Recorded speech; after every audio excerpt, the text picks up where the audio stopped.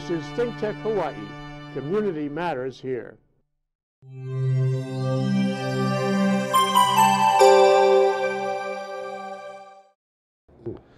Hey, aloha, and welcome to Stan Energy Man on Think Tech Hawaii. I'm your host, Stan Osserman, energy evangelist, hydrogen hero, green guru, and professor of power. You know, in my long list of careers, there never seems to be a shortage of problems. No matter what kind of work I was doing, problems were always there. And they used to bother me a lot until I finally figured out that problems were opportunities and that problem solving was job security. So uh, long ago, I decided that what I would be is solution oriented and be a solution oriented person. After all, it's easy to gripe and complain about everything wrong in the world, but it's the people who solve problems that make a difference. And it's the people that take chances and stretch themselves and their abilities that get the most out of life and get rewards greater than uh, the paycheck. So on Stan Energy Man, we're focused on solutions. And today's guest knows exactly what I'm talking about because he actually found a job where his job title says it all. I'm happy to have as my guest today, Mr. James McCay, Energy Solutions Partner for Ameresco. So, James, good to have you here. Oh, Stan. Always good and, to see you. Uh, good to see you again. It's been fun working with you over the past couple years, but I know you had some changes uh, along the way, but you're you're an energy guy, so I wanted to have you on and talk to you about um, you know what you've been doing lately. But yeah. why don't you tell everybody you know your a little bit about your past, kind of get your credentials set so yeah, they'll yeah. trust you and believe you when you come yeah, up with these always a hard thing to get some trust established, and that's actually a key part of the solutions. Is you got to you know trust the solutions advocate. What they're selling is actually quality right. that solves your problem. So yeah, and your your introduction actually was spot on with kind of my life path. Um, I, have never really liked the term environmentalist. I think that creates some segregations that don't help anyone, especially the environmentalists, to use that term. But um, I was actually going to be a marine biologist when I was a child. That was kind of my dream goal was like the Great Barrier Reef. Uh, I'm very passionate about that. Mm-hmm. Uh, once you dive there, I think you are emotionally and physically, spiritually changed forever. And when I was a child, there was this uh, starfish, the crown of thorn starfish, was yes, killing the reef. So I remember to that. me, that was kind of a travesty. So I thought, okay, that'll be my life's legacy. We'll go solve that problem. But uh, long story short, basically decided it was going to be too much studying and too much memorization. I don't have a great memory, which everyone knows me actually can testify to. But uh, I believe I've got a very good vision and I have uh, really good uh, ability to see connections. And when you talk about problems, like you say, you know, it's the whole Japanese character of danger or, crisis is opportunity. That's right. And that, that kind of whole thing to me was pretty early on uh, apparent that the ecological crisis that I think we're very well into today, I, I saw very early on as a child.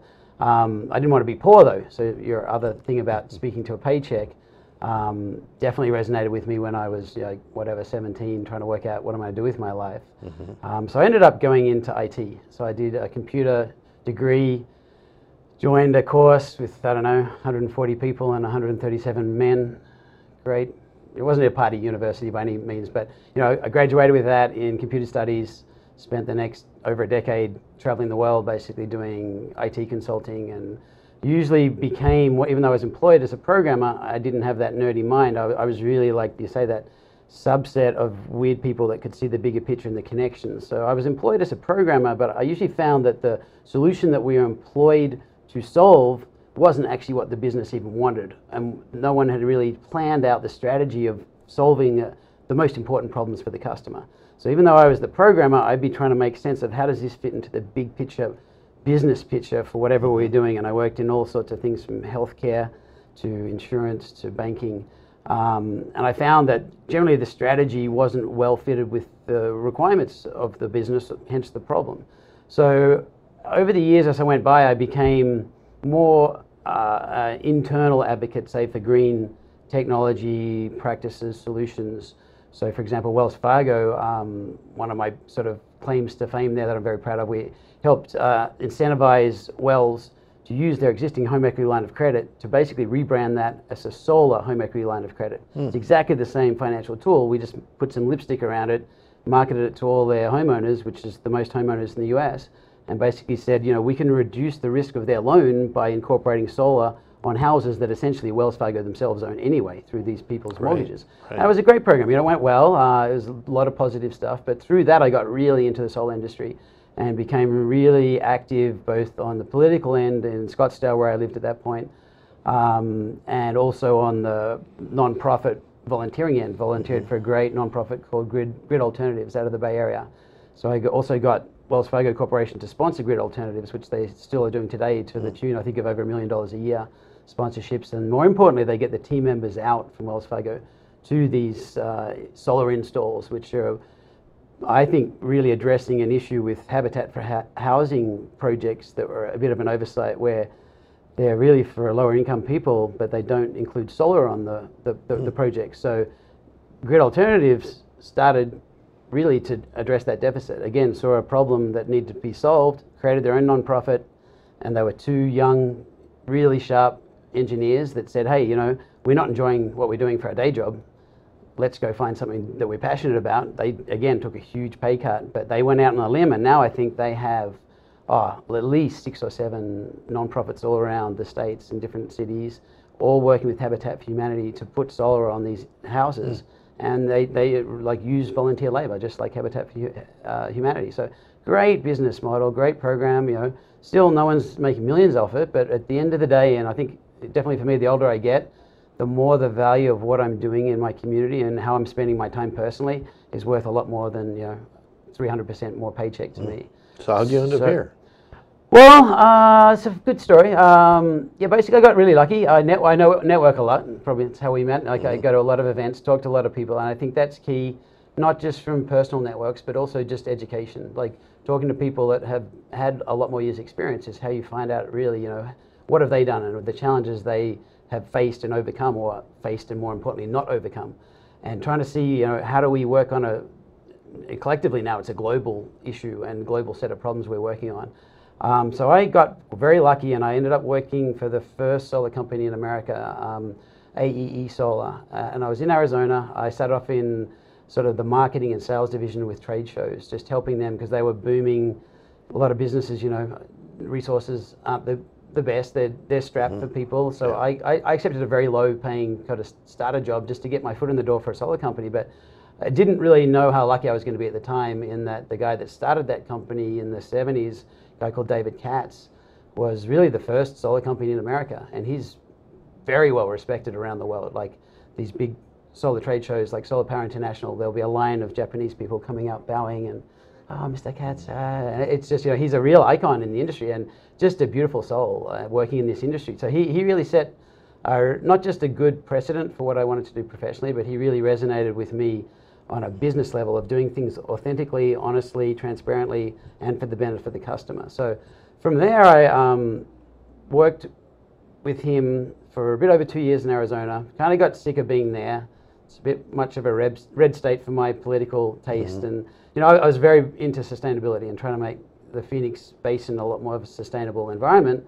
Then one day I just kind of just realized, like with uh, a nuclear power plant there, coal power plants, heavily dependent on water usage, the the, when I'd go to Vegas, every time I never saw the Hoover Dam higher than what it was previously. Yeah. I could just see the water Lower, down lower, every lower, year. yeah. yeah. so I lived there for unfortunately 14 years, and I just wanted to get out. I, know, I speak funny. I'm actually from Australia, but I can't surf, so that was embarrassing. So I thought, okay, I was having a very long trip back to Australia, which I Yeah. try to do every year, and I was just losing it one trip back. And I'm like, oh my God, I just want to jump out of this plane. And the moment I had that thought, the dot on the map was right over Hawaii. And I'm like, why am I flying direct from Sydney to LA, LA, Phoenix? I could have gone Phoenix, Hawaii, Hawaii, Australia. So that's what I did the next year. And as soon as I got to Hawaii, I'm like, oh, I could kind of live here. This is pretty nice. So I got connected with Cully Judd, who comes over for all the trade shows in the mainland. And Cully's also very sens- sensible, very pragmatic, extremely hard-working entrepreneur. And he started uh, Inter Island Solar Supply, also probably around the 70s, 80s. Very good friend of David Katz. Um, so just from discussions with um, David Katz and um, the company had had taken a slightly different tangent at that point in the mainland, and David suggested, uh, you know, it might be a good time for me to look for other venture, ventures that might be more suited with my personality and my dreams of what I want to do in the world. And I'm not sure if I'd say it now, but publicly, um, we were in Boston. It's a great story, so I'm going to tell you. But um, we're coming back, and David Katz, who's the owner of this company, is saying, I hope you're looking for other opportunities, James. And I'm like, I am. And he's like, tell me your top. And I'm like, okay, well, honestly, I'm going to go work for Cully Judd in Hawaii. I think that's probably what I want to do. And he's like, Cully, you. Yeah, yeah, why? And I'm like, I want to learn how to surf. And he's like, Cully used to be a good surfer. You know, Cully's not a small guy. I'm like, Cully could surf. and I, uh, and he taps me on the shoulder. We walk and look across, and there's a billboard as we're walking down the ramp from Hawaiian Airlines, and there's a, sur- a a giant elephant on a surfboard in Waikiki. Obviously not real, but he's like, I told you Cully could surf. so I'm like, all right, if that's not a sign, I'm going to go live in Hawaii. So yeah, I moved over 2011, worked for a bunch of solar companies, and you know, was I caught kind of the end, I think, the solar wave. It was kind of right just before crashing HECO down. started slowing things down. Yeah, so you know, it's been a ride since then. It's been uh, not exactly a, gr- a gravy train of solar, uh, like salary ru- rushing in, but you know, I've survived here. I got again heavily networked when I, I moved here. Uh, started volunteering a lot for Surfrider Foundation, doing a lot of beach cleanups, doing a lot of the sort of environmental stuff, and yeah, just the beauty of the Hawaiian culture and uh, environment is just you know, breathtaking. Every every day, it's great to learn something new. If you really want to dig, you can find something that's really fascinating about living here and being blessed to live in this culture. So. Mm-hmm. I'm fortunate I've lived here all my life too, and people from the mainland go, "Don't you get rock fever?" Yeah. And I go, "No. Well, there's there's more stuff I can do here that I than I could possibly imagine. Yeah, So yeah. I'm just fine staying here. I, I could stay in Hawaii and never leave. That's Yeah. fine. Well, I've traveled, you know, I've traveled a lot, obviously. Yeah. Australia is a great country too, but there's challenges with everywhere you live, I think. Hawaii is a unique, you know, obviously with the kingdom legacy and the overthrow and all that people talk about. There's some there's some challenges, and being white is is a challenge here. You know, be, coming over, being a haole, as they Yeah. can call us. But you know, the the translation of no breath, ha- haole, is is I think more of your spiritual and uh, cultural respect. Exactly. Like if you come over just wanting to rape and pillage and make money and then go back to wherever you're from, I would agree that you're a haole. Like I'm I'm here based on the ethics of what renewable energy and energy efficiency can do to the community and the culture. That really it, it improves the culture rather than taking from the culture, and that, that's kind of why I'm in the business that I'm in. Yeah, I used to tell the military folks that would come over here on active duty because they'd always ask me what to do, you know, here while they're here on their tour because they rotate in and out. And I say, well, the first thing you do is you don't tell anybody how you did it back in Ohio or Idaho or Indiana. Nobody here gives a rat's rear Right. end about Right. how you did it back there.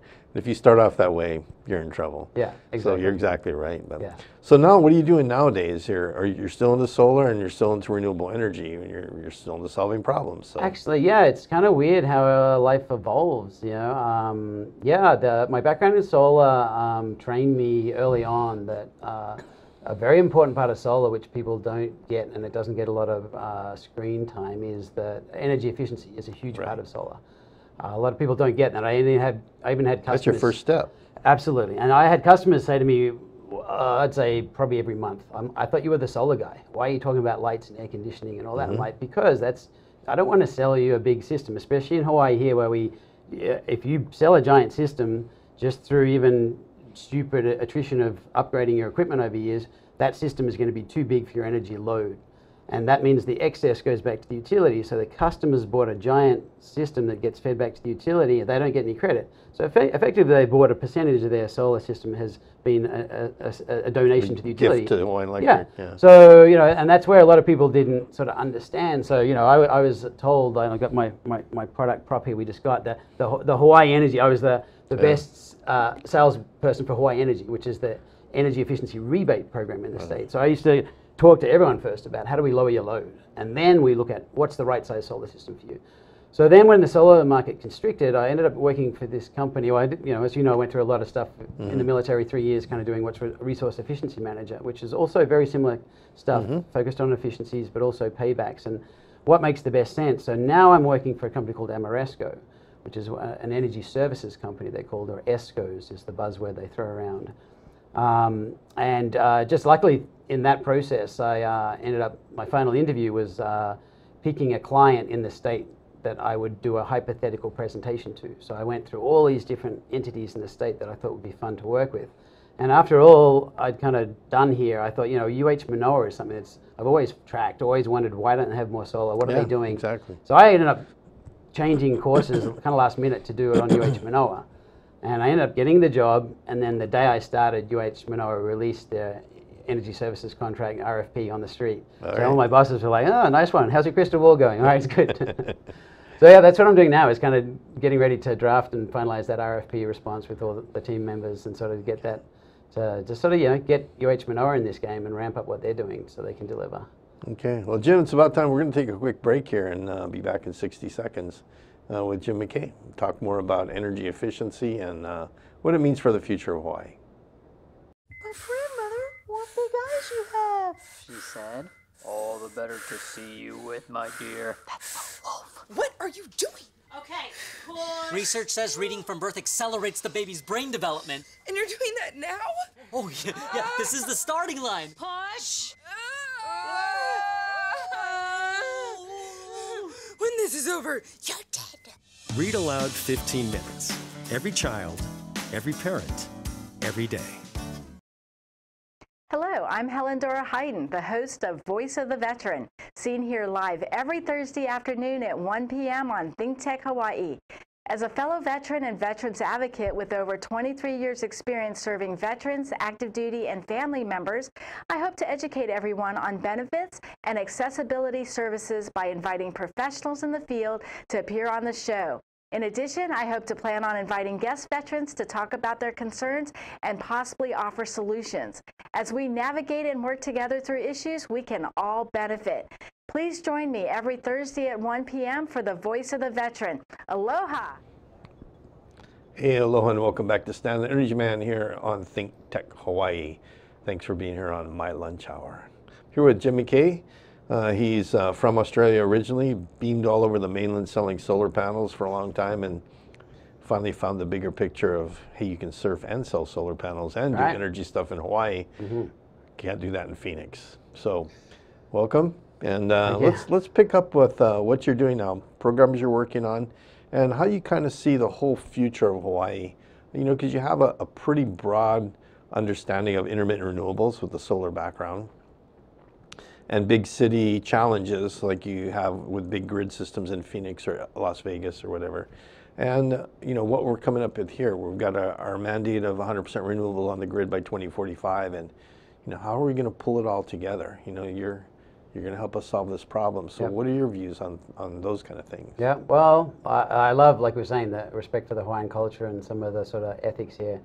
Like, I really like the uh, the whole analogy. We're in, we're in this canoe together, so we've got to start paddling, you know, in the In right way. In sync. In sync, Yeah. ideally. I haven't joined a paddling club. I don't have time to do that, unfortunately. But yeah, it's going to take all of us. So you, that you know, I look thinking logically.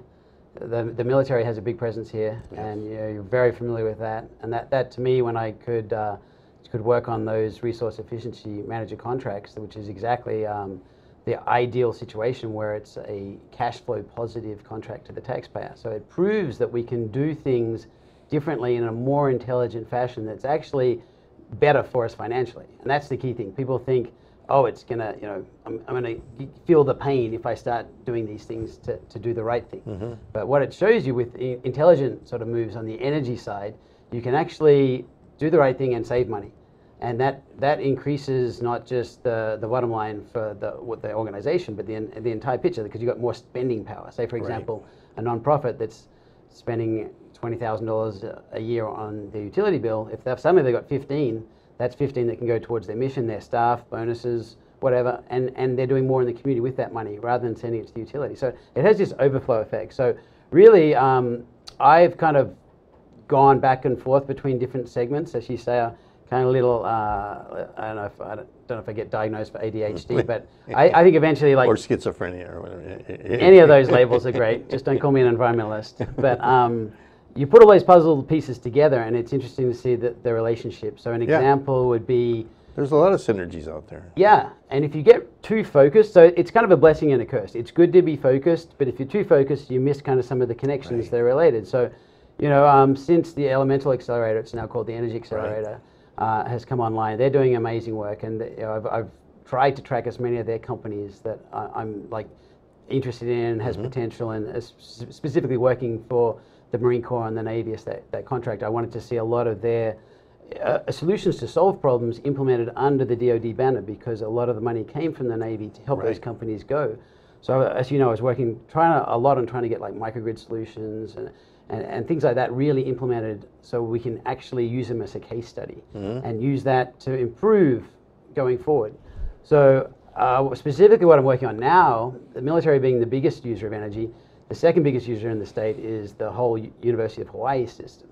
So we have a great opportunity now, just serendipity, as I was explaining, that UH Manoa have their energy services procurement contract on the street right now. So all our companies that are the ESCO companies that are called uh, are competing now to, to, to win. This will be the first phase of uh, UH Manoa's. So it's just one of their 10 campuses, but it's obviously the biggest most you know flagship visible and highest energy use campus. And short of them not doing this they have a more ambitious goal than the state. So they have a net energy zero goal by 2035 so that's 10 years before hawaii's goal. And you know in, in order for hawaii as a state to hit their goal uh has to basically hit their goal.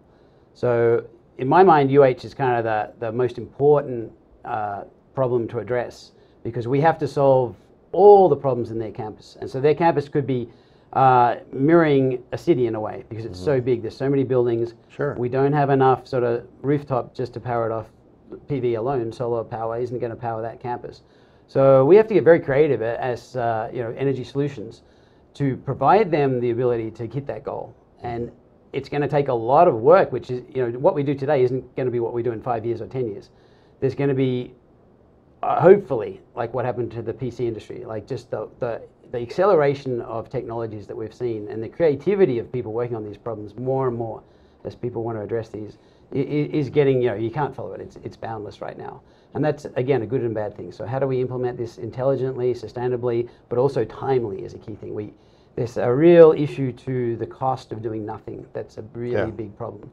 And so nothing against universities, but I saw that a lot in, in the Department of Defense is that studies, it's safer to do a study and redo a study. And oh, that study is two years old, we better redo it, which takes another year. But the fact is you're still paying status quo dollar while you're waiting Right. to do, improve it. So, you know, I'm a big advocate of let's do it somewhere and let's learn from that and then do it better the next time. And I think in, most intelligently, that's what UH Manoa has chosen to do with this uh, contract. Is they they've awarded it for eight buildings on campus, so it's not a big percentage of their whole building stock at UH Manoa, but I think they're going to be using that as kind of the model to move forward to do it better. And so once that happens, I think they're going to see a lot of progressive increasing traction.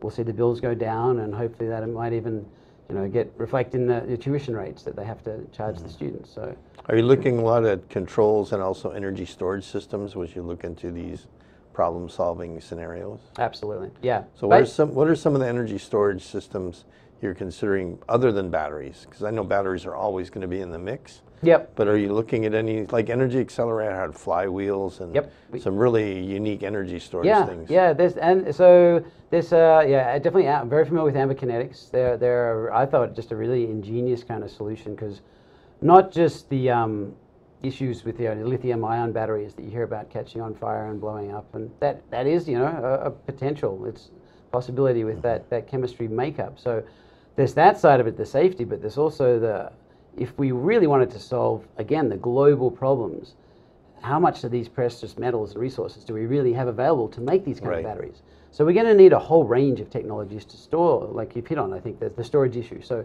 yeah, I really like the concept of, of, of this. Basically, it's a giant metal floating magnet that Yeah. spins at super high velocity. Yep. So it's powered ideally by solar, renewable energy. With zero resource. friction gra- um, Zero friction, yeah.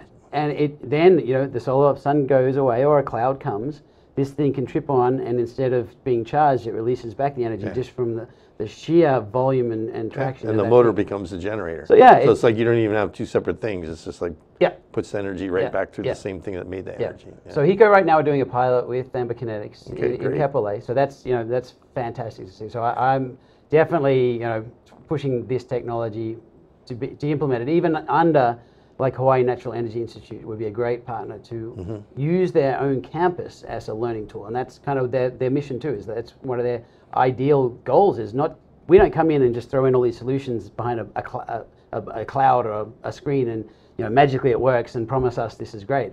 It, it should be very transparent, and we want to have faculty and students engaged in this because the students are the future, and they hopefully we've got some really smart kids at UH right now that are fascinated by flywheels, and they'll be like, "Hey, why did you do whatever?" And I'm definitely not smart enough to know any of that stuff, but I hope someone out there is, and they can be like, "Hey, you sh- maybe what if what if we do that? What if we do this?"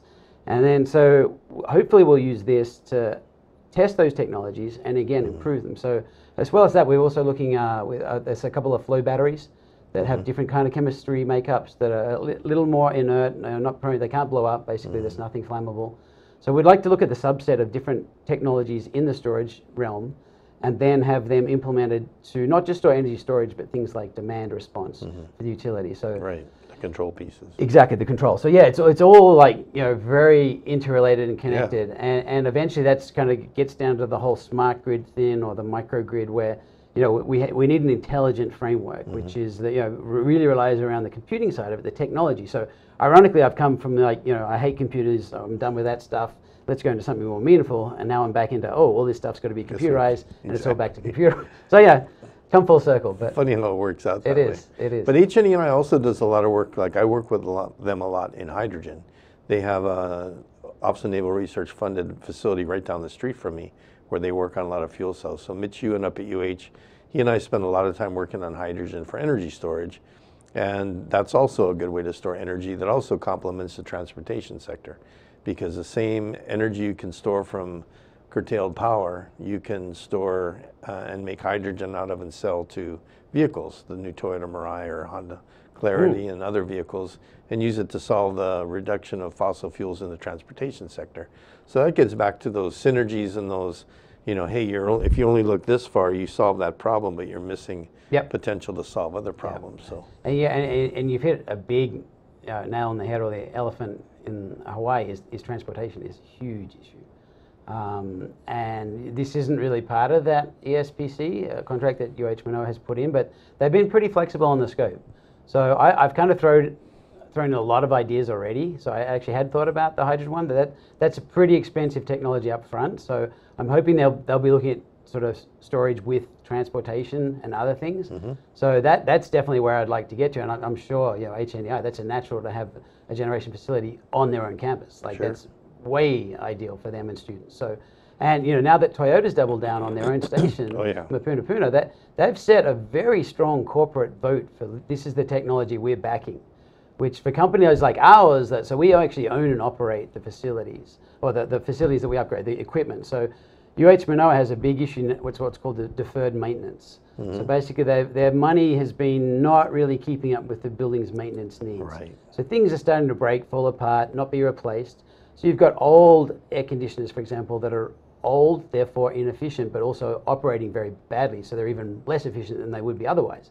So that translates to a big energy cost, which is usually passed on to the students, unfortunately, as well as all the other stuff. So we own the equipment when we replace it as part of one of these contracts. So we want to be sure that it's a good capital expense. But to have someone like Toyota say, hey, this is where we want to go, kind of wakes our, our companies up to be like, oh, well, if they're going to go there, we should probably be doing this with them. well, maybe you can expand your uh, scope on that uh, UH project and include some hydrogen in there for me. It's an offer to partner with. I'll talk to Mitch. Okay. All right. Well, that does it for us uh, this week on Stan Energy Man. I'd like to thank uh, Robert uh, McLean and Cindy Manufkai out here in the studio for helping us put together, together today's show with, with Jim McCay. And we'll have you back sometime later. Thank you, Until next week, Stan Energy Man is signing off. Aloha.